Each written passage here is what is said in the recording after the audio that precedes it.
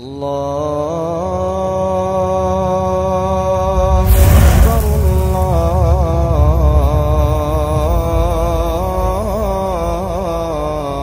الله أكبر السلام عليكم ورحمة الله وبركاته الحمد لله رب العالمين والصلاة والسلام على رسوله الأمين محمد وآله وصحبه أجمعين ومن تبعهم بإحسان إلى يوم الدين أما بعد۔ ناظرین کرام، گزشتہ نشستوں میں ہم نے نفل نماز کے حوالے سے اللہ کے رسول صلی اللہ علیہ وسلم کی احادیث کی روشنی میں ان نمازوں کی کیا اہمیت ہے اور ان نفل نمازوں کی کیا فضیلت ہے اور ان کا کیا مقام ہے، اس کو جاننے کی کوشش کی تھی۔ اور یہ بتایا گیا تھا کہ قیامت کے دن جب انسان معمولی سے معمولی چیز کا محتاج ہوگا، تو اللہ سبحانہ و تعالی ان نوافل کے ذریعے سے فرائض میں ہونے والی کوتاہیوں کی بھرپائی کرے گا، فرائض میں ہونے والی کمیوں کو ان نوافل کے ذریعے سے دور کرے گا۔ اسی طرح سے اگر اہل ایمان کو، اہل تقوا کو، مسلمانوں کو اللہ کے رسول صلی اللہ علیہ وآلہ وسلم کی رفاقت اور ہم نشینی جنت کی چاہیے۔ جنت میں اللہ کے رسول صلی اللہ علیہ وسلم کی رفاقت چاہیے۔ آپ صلی اللہ علیہ وآلہ وسلم کی ہم نشینی چاہیے۔ تو اللہ کے رسول صلی اللہ علیہ وسلم نے کہا کہ عینی علی نفسک بکثرت السجود یعنی کہ تم زیادہ سے زیادہ سجدے کیا کرو، زیادہ سے زیادہ نفل نماز کا اہتمام کیا کرو۔ اس کے ذریعے سے کیا فائدہ ہوگا؟ تم کو میری ہم نشینی نصیب ہوگی جنت میں اور اسی طرح سے دنیا کے اندر تم کو اللہ سبحانہ و تعالیٰ کا تقرب حاصل ہوگا۔ اللہ کے مقرب بندوں میں سے بن جاؤ گے۔ تو یہ مختلف احادیث کے اندر اللہ کے رسول صلی اللہ علیہ وآلہ وسلم نے نفل نماز کی جو اہمیت بتائی، اس کی روشنی میں آج ہم کو اپنا جائزہ لینے کی ضرورت ہے کہ کیا ہم ان نمازوں کا اہتمام کرتے ہیں؟ کیا ہم ان نمازوں کو فرائض کے علاوہ جو نوافل ہیں، ان کا اہتمام کرتے ہیں، انہیں ادا کرتے ہیں۔ اگر نہیں کرتے، تو ہمیں اس سلسلے میں غور کرنے کی ضرورت ہے۔ اور اللہ کے رسول صلی اللہ علیہ وسلم کی احادیث کی روشنی میں ہمیں اپنے لیے یہ طے کرنا ہے کہ آیا ہم کیا کرنا چاہتے ہیں۔ ہم جنت میں اعلیٰ مقام پہ جانا چاہتے ہیں۔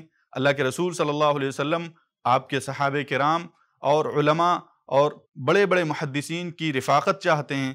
تو ہمیں اللہ کے رسول صلی اللہ علیہ وسلم کے اس قول کی روشنی میں یا ان اقوال کی روشنی میں ہمیں زیادہ سے زیادہ اللہ کا تقرب حاصل کرنا ہوگا اور وہ سب سے اہم طریقہ نمازوں کا ہے۔ فرائض کے بعد نفل نمازوں کے ذریعے سے یہ ممکن ہو سکتا ہے۔ اب اس کے بعد ہم نوافل کے کیا آداب ہیں؟ ان بعض آداب کا یہاں پہ تذکرہ مناسب سمجھتے ہیں تاکہ ہم نوافل کا اہتمام کیسے کریں کن اصولوں کی روشنی میں کریں اور کن آداب اور احکام کو مد نظر رکھتے ہوئے کریں، یہ جاننا ضروری ہے۔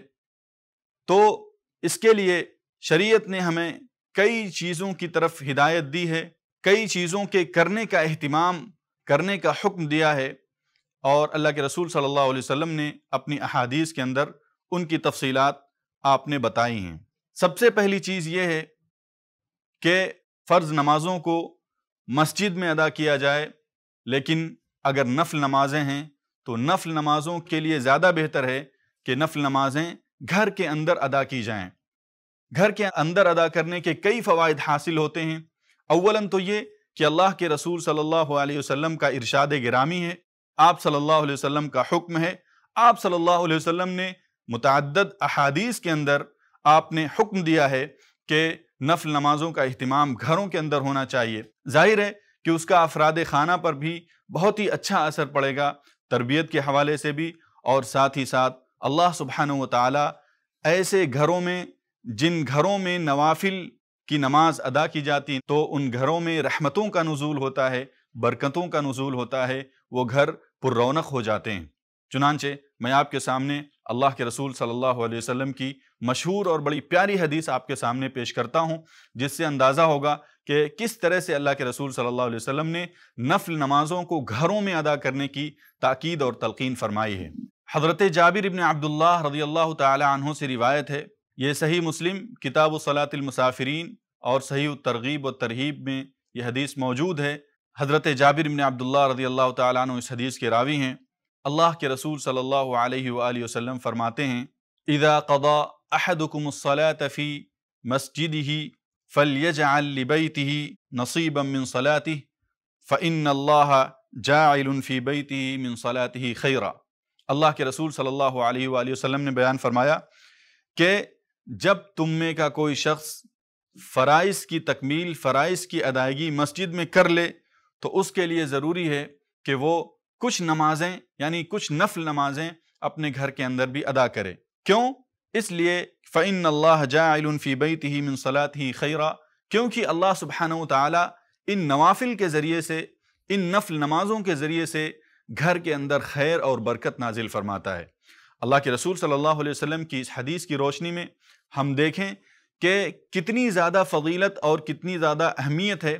اور اللہ کے رسول صلی اللہ علیہ وسلم نے یہ بات جو بیان فرمائی ہے کہ گھر کے اندر نماز ادا کرنے سے گھر پر رونق ہو جاتے ہیں، گھر میں اللہ سبحانہ و تعالیٰ برکتوں کا نزول فرماتا ہے اور ظاہر ہے کہ برکتوں کا نزول کا مطلب یہ ہوتا ہے کہ یہ برکت مال میں بھی ہو سکتی ہے، یہ برکت عمر میں بھی ہو سکتی ہے، یہ برکت رزق میں بھی ہو سکتی ہے، یہ برکت تمام عمر خیر میں ہو سکتی ہے۔ انسان کی زندگی میں برکت کے نزول، انسان کے گھر میں برکت کا نزول کا مطلب ہی یہی ہے کہ زندگی کے مختلف حالات میں انسان کو اللہ سبحانہ و تعالیٰ برکتوں سے نوازتا ہے۔ اس کو پریشانیاں نہیں آتی اس کو مشکلات نہیں آتی اور اس کو اللہ سبحانہ و تعالیٰ رزق میں ایسی برکت دیتا ہے کہ ایک بڑا سے بڑا خاندان معمولی سے پیسے میں آسانی کے ساتھ اور پوری خوشی اور پوری سعادت مندی کے ساتھ زندگی گزارتا ہے۔ نیز، اس حدیث سے اور آئندہ بھی کچھ حدیثیں آپ کے سامنے پیش کی جا رہی ہیں، جس سے یہ اندازہ ہوتا ہے کہ اس کا خاص طور سے افراد خانہ پر بہت اچھا اثر ہوتا ہے کہ اگر ہم گھر کے اندر نفل نمازیں ادا کرتے ہیں تو پہلی بات تو یہ ہے کہ گھر کے اندر برکتوں کا نزول ہوتا ہے، گھر بابرکت ہو جاتا ہے۔ اور اسی طریقے سے گھر کے افراد، بچے جب دیکھتے ہیں، عورتیں جب دیکھتی ہیں کہ کوئی نماز پڑھ رہا ہے تو اس سے نماز پڑھنے کا جذبہ پیدا ہوتا ہے، نماز کے حوالے سے محبت پیدا ہوتی ہے، نماز پڑھنے کا اپنے اندر شوق اور ہمت اور چاہت پیدا ہوتی ہے۔ تو یہ بنیادی طور سے گھر کے اندر نماز پڑھنے کے فوائد ہیں۔ اور کچھ فوائد دیگر احادیث کے اندر بیان کیے گئے ہیں۔ حضرت زید ابن ثابت رضی اللہ تعالی عنہ سے روایت ہے، یہ حدیث صحیح بخاری، کتاب الاذان اور صحیح مسلم، کتاب صلاۃ المسافرین کے اندر یہ حدیث موجود ہے۔ اللہ کے رسول صلی اللہ علیہ وآلہ وسلم فرماتے ہیں، فصلوا ایہا الناس فی بیوتکم فإن افضل الصلاة صلاة المرء فی بیتہ الا المکتوبت اللہ کے رسول صلی اللہ علیہ وآلہ وسلم فرماتے ہیں کہ اے لوگو صلو ایہا الناس فی بیوتکم، تمام کے تمام اہل ایمان کو، تمام لوگوں کو مخاطب کر کے یہ کہا گیا کہ لوگو، تم گھروں میں نماز ادا کرو، نفل کی نمازیں گھروں میں ادا کرو۔ فعین افضل الصلاۃ صلاۃ المر فی بیتہ الا المکتوبہ کیونکہ بہترین نماز یہ ہے کہ انسان گھر کے اندر ادا کرے۔ وہ نماز بہت ہی عظیم ہو جاتی ہے وہ نماز بہت ہی فضیلت والی ہو جاتی ہے، وہ نماز بہت ہی برتر ہو جاتی ہے۔ ثواب کے اعتبار سے بھی اور نیکی اور اجر کے اعتبار سے بھی جو نماز گھر کے اندر ادا کی جاتی ہے، سوائے فرض نمازوں کے۔ فرض نمازوں کو مسجد میں ادا کرنے کا حکم دیا گیا اور نفل نمازوں کو گھر کے اندر ادا کرنے کا خاص طور سے حکم دیا گیا۔ ایک اور حدیث کے اندر اللہ کے رسول صلی اللہ علیہ وسلم فرماتے ہیں، حضرت عبداللہ ابن عمر رضی اللہ تعالیٰ عنہ اس حدیث کے راوی ہیں۔ یہ حدیث صحیح بخاری کتاب الصلاۃ اور صحیح مسلم کتاب الصلاۃ المسافرین کے اندر یہ حدیث موجود ہے۔ اللہ کے رسول صلی اللہ علیہ وآلہ وسلم فرماتے ہیں، اجعلوا فی بیوتکم من صلاتکم ولا تتخذوها قبورا. اللہ کے رسول صلی اللہ علیہ وآلہ وسلم نے بہت ہی اہم پیغام دیا امت اسلام کو، بہت ہی اہم ہدایت دی اللہ کے رسول صلی اللہ علیہ وسلم نے امت اسلامیہ کو کہ اجعلوا فی بیوتکم من صلاتکم، کچھ نمازیں تم اپنے گھروں کے اندر بھی پڑھا کرو۔ کچھ نمازوں سے مراد نفل کی نمازیں ہیں اور فرائض کو مسجد کے اندر ادا کرنے کا حکم دیا جا رہا ہے اور نوافل کو گھروں کے اندر ادا کرنے کا حکم دیا جا رہا ہے اور اس کی وجہ یہ بتائی جا رہی ہے، وَلَا تَتَّخِذُوهَا قُبُورًا۔ گھروں کو قبر نہ بنا لو۔ اس لیے کہ قبرستان کے اندر ویرانی ہوتی ہے، قبرستان کے اندر ایک وحشت ہوتی ہے، قبرستان کے اندر ایک دہشت ہوتی ہے۔ وہ دہشت زدہ ماحول، وہ وحشت زدہ سما، وہ نہ بنا لو، بلکہ گھروں کو رونق والا گھر بناؤ، برکت والا گھر بناؤ، رحمت والا گھر بناؤ، اور وہ ایسے ہوگا کہ اس کو تم نمازوں سے برکت والا گھر بناؤ۔ نوافل کا اہتمام کرو، زیادہ سے زیادہ اللہ کا تقرب حاصل کرنے کے لیے نفل نمازیں ادا کرو۔ قبروں میں اور قبرستانوں میں نمازیں ادا نہیں کی جاتی، اس وجہ سے دہشت ہوتی ہے، ویرانی ہوتی ہے۔ لیکن گھروں کو تم قبر نہ بناؤ، کیونکہ گھر جو ہیں وہ برکت والے ہونے چاہیے اللہ کے رسول صلی اللہ علیہ وسلم نے امت اسلامیہ کو یہ پیغام دیا کہ گھروں کے اندر نماز کا اہتمام ہونا چاہیے۔ یہ بار بار جو اللہ کے رسول صلی اللہ علیہ وسلم نے ان تینوں احادیث کے اندر جو میں نے آپ کے سامنے ابھی پیش کی، ان تینوں احادیث کے اندر بار بار گھروں میں نماز پڑھنے کی تلقین کی جا رہی ہے۔ بار بار گھر میں نماز ادا کرنے کی گزارش کی جا رہی ہے اور ان کو حکم دیا جا رہا ہے کہ یہ نفل نمازیں جو ہیں ان کو خاص طور سے گھر میں ادا کرو۔ اس کی کیا وجہ ہے؟ اس کی بنیادی وجہ یہ ہے کہ گھر کے اندر اگر آپ نفل نماز ادا کرتے ہیں تو آپ ریاکاری کے جذبے، ریا اور نمود کے جذبے سے محفوظ ہوتے ہیں۔ آپ کے دل میں اس طرح کے خیالات نہیں ہوتے کہ لوگ دیکھ لیں گے تو مجھے بہت نمازی سمجھیں گے۔ لوگ مجھے دیکھ لیں گے نماز پڑھتے ہوئے۔ تو لوگ مجھے نیکوکار سمجھیں گے۔ لوگ اچھا سمجھیں گے۔ لوگ بزرگ سمجھیں گے۔ تو اس طرح کے ریاکاری کا جذبہ بالکل آپ اگر گھر کے اندر نماز پڑھتے ہیں تو آپ کے دل کے اندر پیدا نہیں ہو سکتا ہے۔ بلکہ آپ کے اندر اخلاص کا جذبہ پیدا ہوگا۔ اخلاص کے ساتھ، للہیت کے ساتھ خوشو اور خضو کے ساتھ محض اللہ کی خاطر ایک دم اوریجنل نماز آپ ادا کریں گے۔ اللہ کی بارگاہ میں ایسی نمازیں بہت ہی محمود ہیں اور بہت ہی قابل ستائش ہیں۔ تو اس وجہ سے اللہ کے رسول صلی اللہ علیہ وسلم نے بہت سی نمازوں کو یعنی نفل جو نمازیں ہیں، ان کو گھروں کے اندر ادا کرنے کا حکم دیا گیا تاکہ دل کے اندر جو ریاکاری کے جذبات ہیں وہ ختم ہو جائیں۔ دوسری بات یہ بھی ہے کہ گھروں کے اندر برکتوں کا نزول ہوتا ہے، رحمتوں کا نزول ہوتا ہے۔ گھر پر رونق ہو جاتے ہیں۔ برکتوں اور رحمت کے نزول کا مطلب یہ ہے کہ انسان بلا اور مصیبت سے محفوظ ہو جاتا ہے، مشکلات سے دور ہو جاتا ہے، پریشانیوں سے دور ہو جاتا ہے۔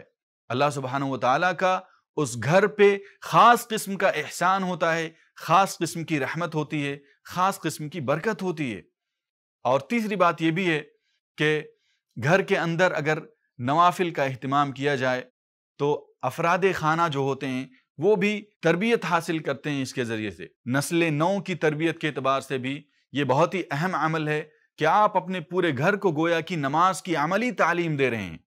گھر کی عورتیں دیکھتی ہیں، گھر کے بچے دیکھتے ہیں، چھوٹے دیکھتے ہیں، بڑے دیکھتے ہیں اور سارے افراد گھر کے یہ ساری چیزیں دیکھتے ہیں۔ آپ کو نماز پڑھتے ہوئے تو اسے ایک طرف تو نماز کا طریقہ سیکھتے ہیں، دوسری طرف نماز کے تئیں اپنے دلوں کے اندر جذبہ پیدا کرتے ہیں خواہش پیدا کرتے ہیں، اللہ سے محبت پیدا کرتے ہیں اور اسی طریقے سے گھر کے اندر ایک اچھا سا ماحول پیدا ہوتا ہے۔ تو نئی نسل کی تربیت کے حوالے سے بھی، نئی نسل کی تعلیم کے حوالے سے بھی، نئی نسل کو دینی بنیادوں پر بنانے کے اعتبار سے بھی، ان کی تربیت کرنے کے اعتبار سے بھی یہ بہت ہی اہم نسخہ اللہ کے رسول صلی اللہ علیہ وسلم نے بیان فرمایا ہے۔ لہذا اس پر ہمیں آج عمل کرنے کی ضرورت ہے اور اس کی طرف خاص طور سے توجہ دینے کی ضرورت ہے۔ ہمارا معاشرہ عام طور سے اس اہم سنت سے بہت دور چلا جا رہا ہے۔ لوگ نوافل کا اول تو اہتمام نہیں کرتے، اگر اہتمام کرتے بھی ہیں تو مساجد کے اندر اہتمام کرتے ہیں۔ لہذا اس وقت ضرورت اس بات کی ہے کہ نوافل کا اہتمام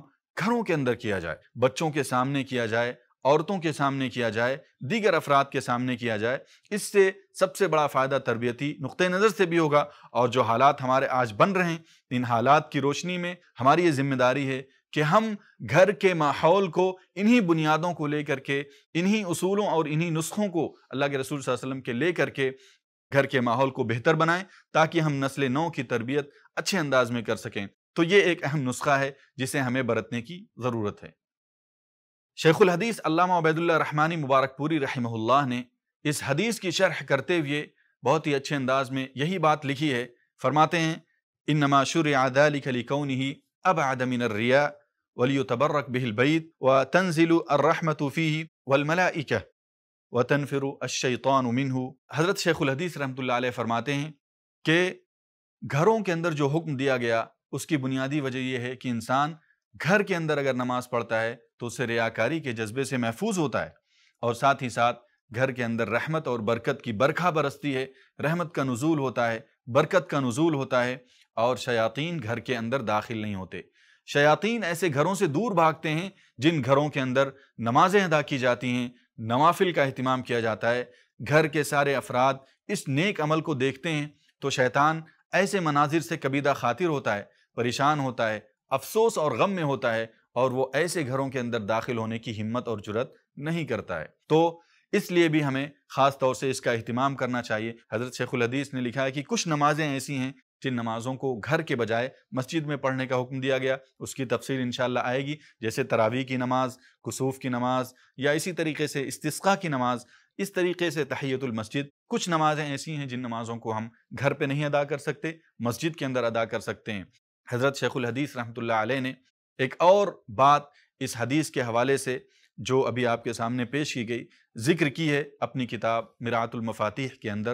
وہ فرماتے ہیں، گھروں کو قبرستان نہ بناؤ اس کا مطلب یہ ہوتا ہے کہ چونکہ قبرستان کے اندر نماز نہیں پڑھی جاتی، وہ ایک ویرانی والی جگہ ہوتی ہے، وحشت والی جگہ ہوتی ہے، لہذا تم اپنے گھروں کو وحشت زدہ مت بناؤ، ویرانی والا گھر مت بناؤ، بلکہ برکتوں والا بناؤ، رحمتوں والا بناؤ، اور اللہ سبحانہ و تعالیٰ سے قرب والا منظر لوگوں کے سامنے پیش کرو۔ یہ اللہ کے رسول صلی اللہ علیہ وسلم کا نسخہ ہے، اور اس پر آج کے گھروں کو، آج کے اسلامی معاشرے کو اس پر عمل کرنے کی ضرورت ہے، تاکہ اللہ سے ایک طرف تقرب ہو سکے، دوسری طرف ہمارے جو دنیاوی اور اخروی فائدے ہوتے ہیں اس کی روشنی میں وہ ہمیں حاصل ہو سکیں۔ دوسری چیز یہ ہے کہ نفل نمازوں کے اہتمام سے اللہ سبحانہ و تعالیٰ بندے سے شدید محبت کرنے لگتا ہے۔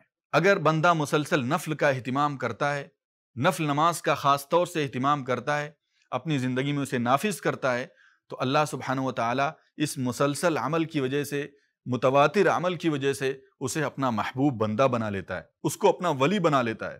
اور ایسے لوگ جن کو اللہ سبحانہ و تعالیٰ ولی بنا لے، ان سے بہتر کوئی دنیا کے اندر اور نہیں ہو سکتا۔ آپ کے سامنے میں ایک حدیث رسول پیش کرتا ہوں، جس سے آپ اندازہ لگا سکیں گے کہ اللہ کے رسول صلی اللہ علیہ وآلہ وسلم نے کس طریقے سے ایسے لوگوں کی اہمیت بیان کی جو لوگ نفل نمازوں کا خاص طور سے اہتمام کرتے ہیں۔ اللہ سبحانہ و تعالیٰ کیسے ان سے محبت کرتا ہے؟ من عادى لي وليا فقد آذنته بالحرب وما تقرب إلي عبدي بشيء أحب وما تقرب إلي عبدي بشيء أحب إلي مما افترضت عليه وما يزال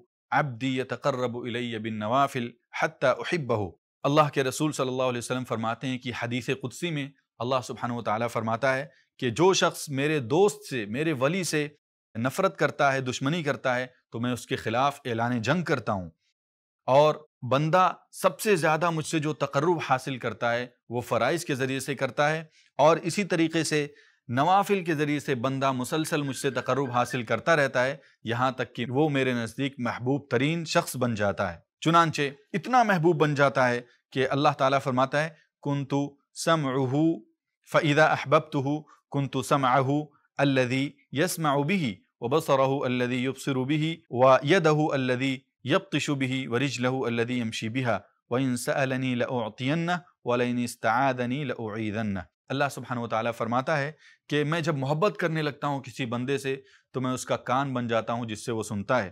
میں اس کی نگاہ بن جاتا ہوں جس سے وہ دیکھتا ہے۔ میں اس کا ہاتھ بن جاتا ہوں جس سے وہ پکڑتا ہے۔ اور میں اس کا پاؤں بن جاتا ہوں جس سے وہ چلتا ہے۔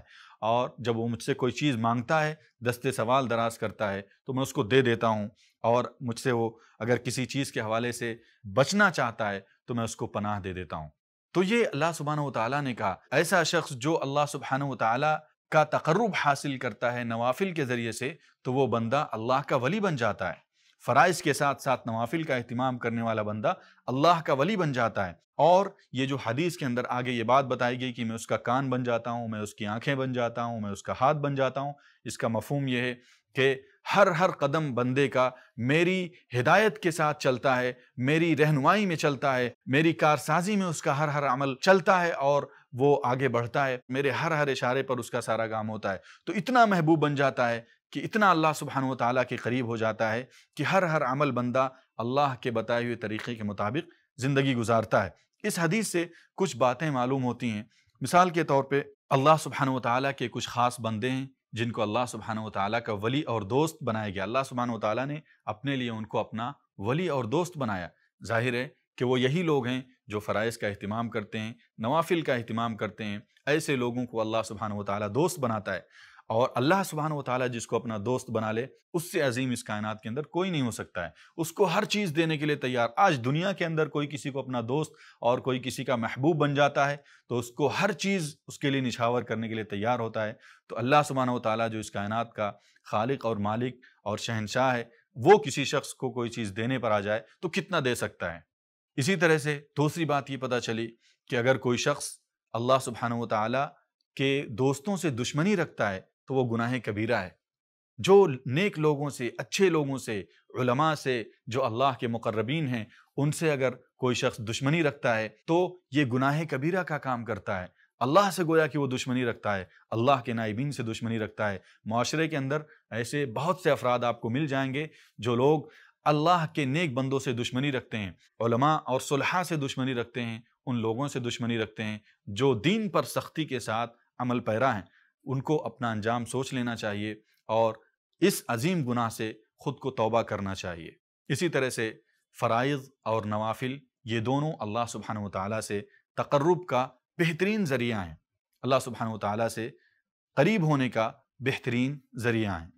اسی طرح سے کچھ لوگ یہ سمجھتے ہیں کہ ہمارے معاشرے میں یہ بات رائج ہے کہ اگر کوئی شخص اللہ کا ولی ہو جاتا ہے تو اسے کسی عبادت کی ضرورت نہیں ہوتی ہے۔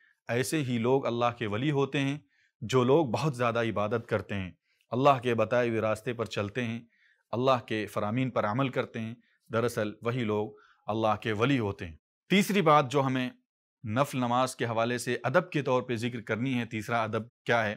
تیسرا ادب یہ ہے کہ انسان کے اندر جذبہ تشکر پیدا ہوتا ہے، جذبہ شکر پیدا ہوتا ہے۔ جیسا کہ ایک حدیث میں آپ کے سامنے پیش کرتا ہوں، حضرت عائشہ رضی اللہ تعالیٰ عنہ اس حدیث کی راویاں ہیں۔ صحیح بخاری کتاب تفسیر القرآن اور صحیح مسلم کتاب صفت القیامہ کے اندر یہ حدیث موجود ہے۔ حضرت عائشہ رضی اللہ تعالیٰ عنہ فرماتی ہیں كان يقوم من الليل حتى تتفطر قدماه فقالت لما تصنع هذا يا رسول الله؟ وقد غفر الله لك ما تقدم من ذنبك وما تأخر فقال افلا احب ان اكون عبدا شكورا الله کے صلى الله عليه وسلم کے حوالے حضرت عائشہ فرماتی ہیں کہ اللہ کے رسول اتنا زیادہ قیام اللیل فرماتے تھے، اتنی زیادہ نفل نمازیں ادا کرتے تھے کہ آپ کے پاؤں سوج جاتے تھے۔ آپ کے پاؤں پھول جاتے تھے، سوج جاتے تھے۔ اتنی زیادہ آپ نمازیں ادا کرتے تھے۔ تو حضرت عائشہ نے کہا کہ اے اللہ کے رسول، آپ کو کیا ضرورت ہے عبادت کرنے کی؟ اتنی زیادہ عبادت کرنے کی، اتنی زیادہ نوافل کا اہتمام کرنے کی آپ کو کیا ضرورت ہے؟ جبکہ اللہ سبحانہ و تعالیٰ نے آپ کے سارے گناہ معاف کر دیے ہیں۔ آپ کو کوئی ضرورت نہیں۔ لیکن اللہ کے رسول صلی اللہ علیہ وسلم نے فرمایا، افلا اکون عبدن شکورا؟ کیا میں اللہ کا شکر گزار بندہ نہ بن جاؤں؟ تو اس حدیث سے پتہ چلا کہ انسان اگر نوافل کا کثرت سے اہتمام کرتا ہے، تو انشاءاللہ وہ اللہ کا بہت ہی اچھا اور نیک بندہ بن جاتا ہے۔ اور دوسرے، اللہ سبحانہ و تعالیٰ کے حوالے سے اس کے اندر شکر گزاری کا جذبہ پیدا ہو جاتا ہے۔ اللہ سبحانہ و تعالیٰ سے دعا ہے کہ اللہ تعالیٰ ہمیں نوافل کا کثرت سے اہتمام کرنے کی توفیق عطا فرما۔ السلام علیکم ورحمۃ اللہ وبرکاتہ۔ ایسے ہی اور ویڈیوز بنانے میں ہماری مدد کریں۔